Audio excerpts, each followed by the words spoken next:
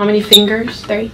How many? Two. Eight years ago, Stephanie Hopper was diagnosed with glioblastoma, an aggressive brain cancer.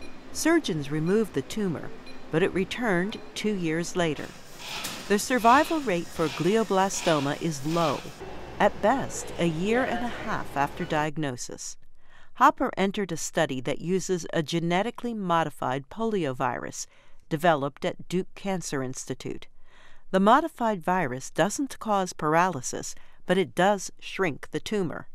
A clinical trial showed the treatment significantly improved the long term survival rate for patients whose glioblastoma returned.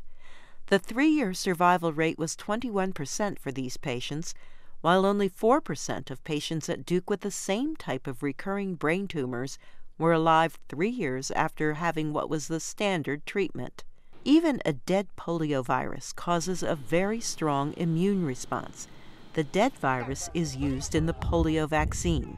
Dr. Darell Bigner is the senior author of the study. What this did, very simply, was to destroy the ability of the poliovirus to infect nerve cells and cause poliomyelitis any longer, but it retained the ability uh, to kill cancer cells. Doctors injected the modified virus directly into the brain. They repeated the treatment on five patients whose cancer returned. Those that we've been able to follow uh, long enough have responded to the treatment the second time.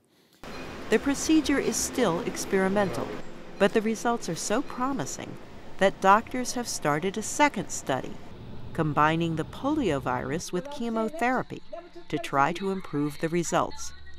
As for Stephanie Hopper, her tumor continues to shrink. Carol Pearson, VOA News.